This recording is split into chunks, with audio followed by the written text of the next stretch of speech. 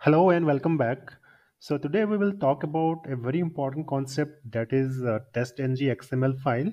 Testng XML file is a very important uh, concept, a very important file in order to execute your uh, automation test cases okay? So before actually working on testng xml file you need to understand what is testng how to install testng in eclipse ide if you have not seen my previous videos where i have explained about testng in detail if you could just see those videos then you will be able to relate this particular concept okay? So as you can see uh, this is my maven project. You can see there are maven dependencies available here and this is my maven project sample one. So in this uh, sample one project uh, there are uh, you can see there are six classes right? Every class if i open there are some test method. As you can see this is the test method. Okay? So second class is also having some test method. These are my test cases basically. Okay? And if i open the third one class name locator or java even this class also has one test method. Okay? At the rate test. Then similarly if i open all the classes every class has some test method so now what happens is now let's say uh, how do you normally run your test cases? Okay, we run your test class basically by right clicking on it and we go to run as and we just run as test ng test or we can simply uh, do run all. Okay, so that is the generic way, that is the normal way of running a particular test class, a test class.java file. Okay, but imagine a case you have so many test classes right? You have 10 classes 20 classes 30 classes and every class is having so many test methods if i have to run all of them i cannot uh, execute one class then go to the other class and manually click on that. I don't want to do all these things. So those are basically time consuming thing okay? That is not the standard process. So what i can do is i have to club all these test classes into a certain file okay? That file is called as testng.xml file. So you will uh, be able to relate this concept. Let me do one thing.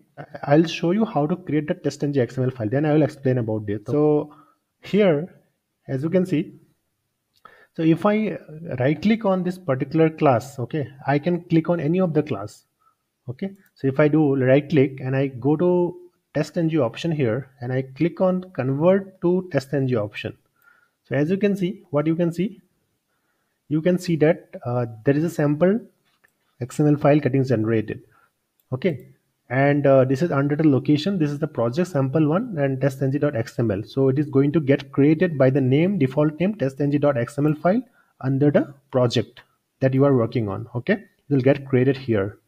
So what is it taking? Since I have clicked on a particular class, that's why you can see this class name is also coming up here along with the package. The package is pkg1 dot the class name. Class name dot java is coming up. Okay this is the class name and this is the class name tag right? It is the open tag and is the close tag. And these are the information about this xml file and the suite name is suite okay? And there are some information like name test and uh, this is the, the, default name and the suite name is default uh, suite name. You can change it. So i'll go with the default name for now okay? And i'll just click on next and i'll click on finish so as you can see, as soon as I have clicked on finished and it is creating a file that is testng.xml file. So this is the file I was referring to. Okay. I have created this testng.xml file by right clicking on this particular class name. I have not selected all of them. So that is the reason I'm getting only one class name information. So what does it mean is that this particular class name is now inside this .xml file, testng.xml file okay so basically what happens is as soon as you do right click on this testng.xml file and go to run as you can see the option testng suite not as testng test. Earlier if you just right click on it you will get option testng test. Okay but on this testng xml file if you right click you will get the option as testng suite because it has become a suite now okay because testng xml is to run your test in a suite. Okay but you must be thinking why i'm just giving only one class? Because i can simply run from here itself. Why i need to keep uh, only one class in a testng xml file? Correct. So i don't have to use testng xml file just to run one class. That's why we have to go with multiple classes. So let me delete this and i'll recreate the testng xml file. Okay? Let me delete this. And what i'll do is Instead of selecting only one class, I'll click on this particular package name itself. Then I will right click and I'll go to testng option again. Then I'll convert to testng again. So now you can see all the class names are coming up here. Okay as you can see the class name assertions and uh, sample one log login page test then find links this one annotation and class name locator. Okay the xml file itself will make the sequence. So this is the sequence okay? Starting with this class then followed by this one. Like that all the six classes are categorized in this particular xml file. So there are options like class selection whether you, you whether you want to run at uh, class level or you want to run at package level. Okay if i just click on packages it means that the class name will not be reflected here. So it means that if you run this xml file it will take all the classes under that particular package okay if you go with the class level it means that out of these six classes if you want to remove any of the class that also you can do. Okay i'll finish off this. So now if i open this testng.xml file you can see all the classes are getting added here.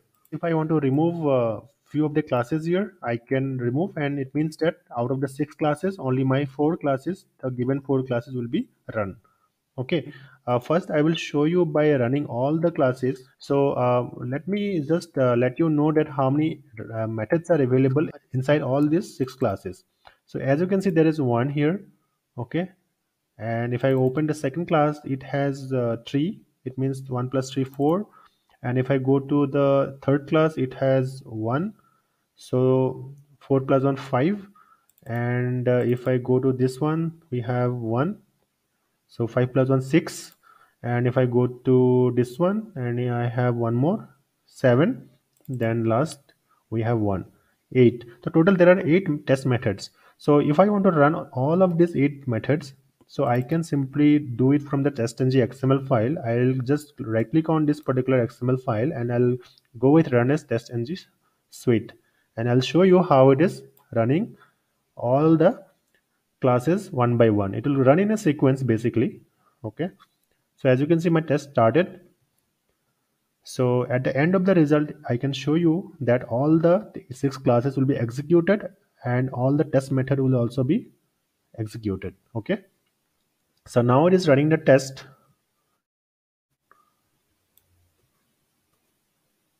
So as you can see, the first one assertions is basically executed and out of the three test method, two are failed. Okay.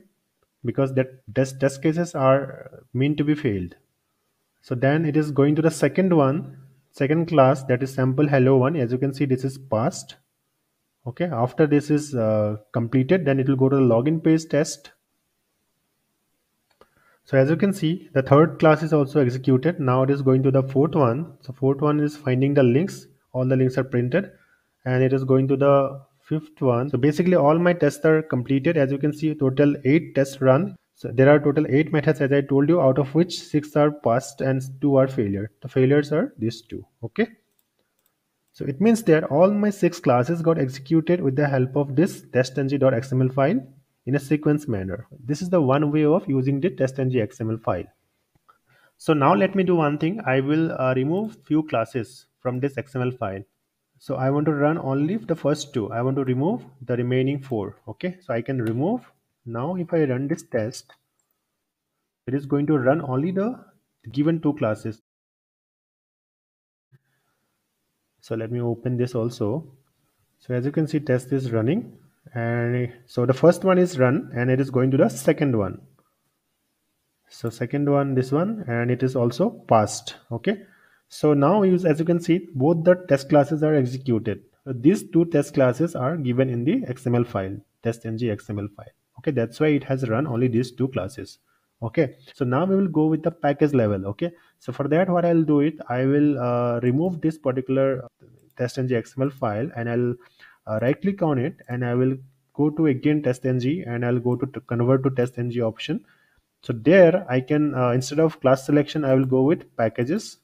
So as you can see as I have selected uh, the packages option so it has given me the name of the package that is uh, pkg1 this this one so it means that all the classes whichever if there are 100 classes also it will consider all the 100 classes so this is the meaning of the class selection as packages so one more thing here, uh, the testng XML file can be also renamed. Okay, that by default it is testng.xml, but we can always rename.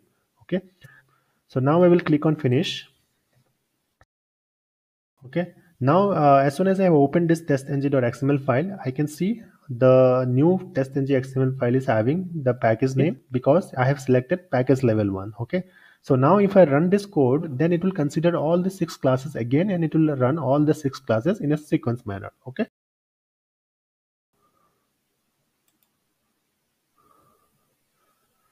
So the test has started and uh, it will execute all the six classes, all the classes available.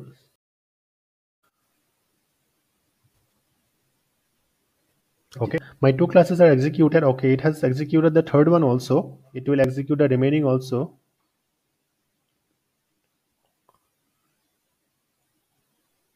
Okay, so the fourth one is executed, the find links. Login page test is also executed. So it has completed the sixth one also. Okay, so as you can see, sample hello one.java is also executed. So you can use basically whichever is applicable in your case. Okay, you can go with uh, the class level or you can go with the package level uh, as well. Okay, so in case if you want to run all these classes uh, parallelly, for that you have to uh, basically select that parallel uh, option. So for that, let me show you. Uh, you just need to do. So let me create. Okay, so here inside that in the XML file, you have to give the parallel mode as a class, test, or method. You can select any of the option. Okay. So as you can see, the parallel options are getting added here in the XML file and you can also give the thread count if you want if you have too many classes in that case you can uh, manage your thread count okay and you can also change the test name and the suite name and once this is saved and run all your test cases all your test classes will be run parallelly on different browsers okay on multiple browsers so this is the concept of testng xml file and it is very useful if you want to maintain your test if you want to control your test it saves a lot of time well, I hope you have understood the topic. If you have any questions, any doubts, please drop those in the comment section. And if you are visiting my channel for the first time, please do subscribe to my channel and I'll come up with a new topic. Thank you. Thanks for watching.